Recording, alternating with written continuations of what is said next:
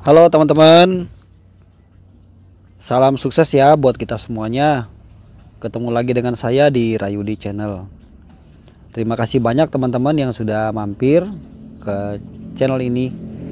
Kita doakan teman-teman kiranya semua diberikan selalu kesehatan ya. Kita semua teman-teman dilimpahkan rezekinya Dan kita semuanya dijauhkan dari segala mara bahaya teman-teman ya. Amin amin amin Nah di video saya kali ini teman-teman saya mau bahas sedikit uh, terkait mobil dengan gejala kerusakan kanvas rem ya. Jadi kanvas rem belakang itu ada gejala atau ada ciri ya di mana kanvas itu udah harus kita ganti atau memang uh, setelannya berubah ya teman-teman.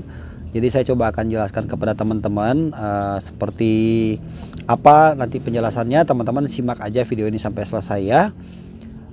Dan sebelum kita lanjut teman-teman mohon dukungannya ya untuk channel ini. Jangan lupa teman-teman untuk menekan tombol subscribe dan juga teman-teman menghidupkan notifikasinya. Dengan demikian teman-teman sudah berpartisipasi untuk perkembangan channel saya ini dan tidak lupa saya ucapkan banyak-banyak terima kasih.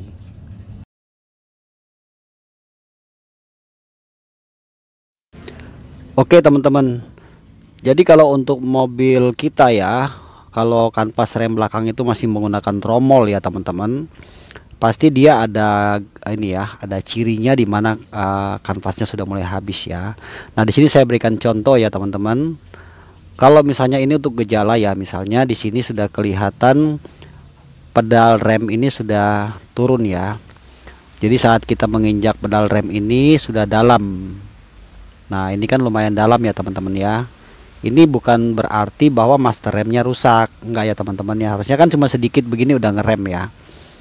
Nah ini sebetulnya salah satu ciri ya bahwa kanvas rem belakang itu sudah mulai tipis ya teman-teman ya. Atau setelannya memang sudah jauh ya mesti kita perlu setel ulang teman-teman.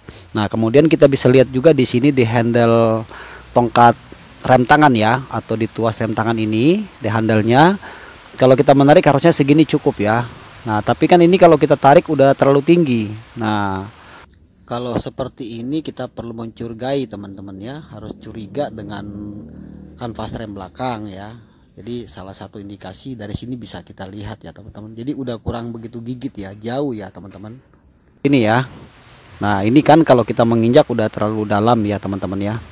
Jadi harusnya cuma sedikit kita nginjak udah dapat remnya Nah, tapi faktanya pada saat kita nginjak terlalu dalam ya, bahkan hampir mau mentok bawah ya teman-teman ya. Ini agak sangat sangat berpengaruh ya teman-teman ya, agak nggak enak dipakai ya. Nah, lalu lihat di sini.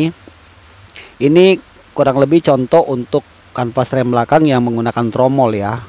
Kalau untuk mobil kijang, misalnya mobil apa pun yang menggunakan tromol, belum pakai disc brake ya. Nah, kurang lebih seperti ini. Di situ tuh ada kanvas rem kan kiri kanan. Kalau teman-teman lihat di foto ini ya. Jadi di sini tuh dia nanti uh, bisa berubah ya setelannya. Seiring berjalannya waktu bisa berubah. Tapi di satu sisi juga memang kanvas ini bisa habis ya teman-teman ya. Karena kan memang ada waktunya ya. Apalagi mobil dipakai rutin terus ya setiap hari. Nah, kanvas rem ini pasti akan berubah. Tadinya tebal kemudian akan kemudian menjadi tipis. Nah, itu sebabnya kalau misalnya kita mau uh, menarik rem tangan, ini dia jauh ya teman-teman ya, jauh dari antara kanvas rem kena dengan dinding tromol. Kan ada tromol di belakang sini ya. Itu jauh teman-teman. Jadi kanvas rem ini kalau kita misalnya sudah ada gejala-gejala seperti ini ya teman-teman ya. Se sebaiknya teman-teman jangan menunda ya. Sebab kenapa? Karena takutnya nanti pada saat kita ngerem ya mendadak ini agak berbahaya teman-teman ya. Karena terlalu dalam kan ya.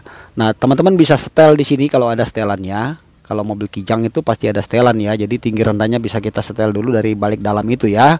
Kemudian kalau misalnya nanti tidak ada setelannya itu bisa juga kita nanti mengganti dengan kanvas yang baru. Sama perhatikan tromol. Nah ini tromolnya suka kemakan juga ya teman-temannya. Di baliknya tuh ada tromol yang bertemu langsung dengan si kanvas rem itu ya. Jadi kita harus ngecek tromol ini. Kalau dia sudah dalam juga nah ini bisa mengakibatkan posisi atau kondisi si pedal rem ya. Kita itu terlalu jauh ya teman-teman turunnya ke bawah jadi meskipun kanvas rem kita masih tebal tapi kalau tromol ini sudah kemakan terlalu dalam maka kita sulit ya teman-teman untuk menyetelnya. Karena sudah terlalu jauh jarak antara kanvas dengan dinding tromol teman-teman. Nah jadi nanti kalau misalnya teman-teman sudah mulai uh, ada gejala-gejala seperti ini ya nanti dia juga kadang-kadang ada bunyi di belakang pada saat ngerem tuh ada suara yang aneh. Jadi semacam besi beradu dengan besi gitu ya teman-teman ya jadi teman-teman pasti ngerti ya kalau namanya besi beradu besi artinya si kanvasnya sudah habis pasti ada menimbulkan suara kan ya. Nah itu sudah ada indikasi atau gejala memang si kanvasnya sudah mulai tipis atau memang sudah habis ya teman-teman. Kalau udah kayak gitu sebaiknya sih jangan menunda ya teman-teman ya. Sebaiknya kita adakan pengecekan aja karena ini berhubungan dengan rem kan ya. Nah terus nanti pada saat kita bongkar di sini kan ada seal ya yang tengah ada piston di dalam sama seal ini kadang-kadang tuh bocor ya teman-teman ya jadi di sini tidak boleh bocor atau macet ya Nah, jadi kalau pada saat kita bongkar, ini sekalian kita cek, ya kan, bocor atau macet, kita sekalian perbaiki, teman-teman. Terus satu lagi, kalau misalnya kita lagi bongkar, jangan lupa juga kita mengecek tali atau kabel rem tangan ya, teman-teman. Karena dia kan ada dua ya, ke roda belakang sebelah kiri satu, ke sebelah kanan satu. Kadang-kadang salah satunya ada yang putus, itu juga bisa mengakibatkan ya, teman-teman ya. Rem tangan itu jauh ya pada saat ditarik. Nah setelah itu teman-teman kalau misalnya mau ganti part ya untuk kanvas rem itu kalau kita beli ya kita beli baru gitu dia tidak jual satu aja sebelah. Jadi dia itu jualnya itu kiri kanan. Jadi kalau kita beli satu kanvas rem belakang contoh misalnya mobil kijang gitu ya.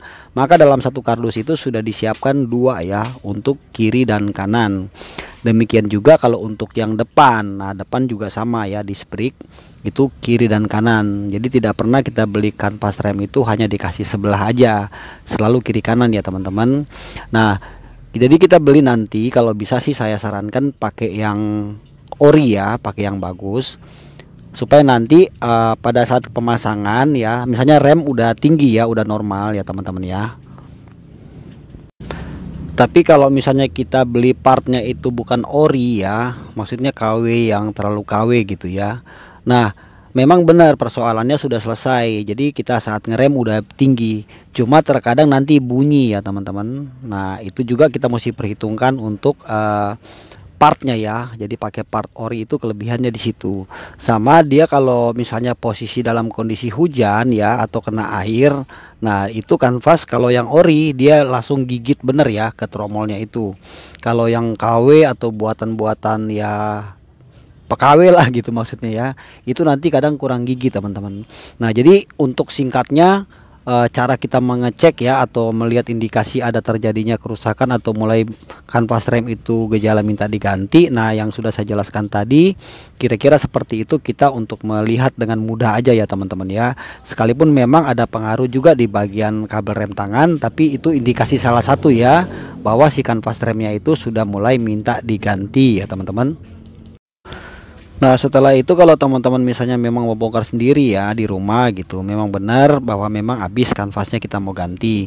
Nah ini bagian setelannya harus kita bersihkan ya. Kalau yang menggunakan setelan ada juga yang kan otomatis ya Kayak Daihatsu Zebra contoh ya Dan mobil-mobil lain itu ada yang otomatis Jadi nggak bisa di setel tinggi rendahnya. Tapi kalau ada setelan gini ini pastikan setelannya benar Terus harus sama penyetelannya kiri dan kanan Supaya kanvasnya itu berbarengan gitu loh rata kenanya Oke teman-teman ya, jadi ini sedikit informasi aja buat teman-teman. Kalau misalnya teman-teman uh, mengalami permasalahan yang sama, misalnya pada saat nginjak pedal rem memang sudah dalam, kemudian uh, posisi handrem ya rem tangan sudah jauh, tinggi terlalu tinggi ke atas ya.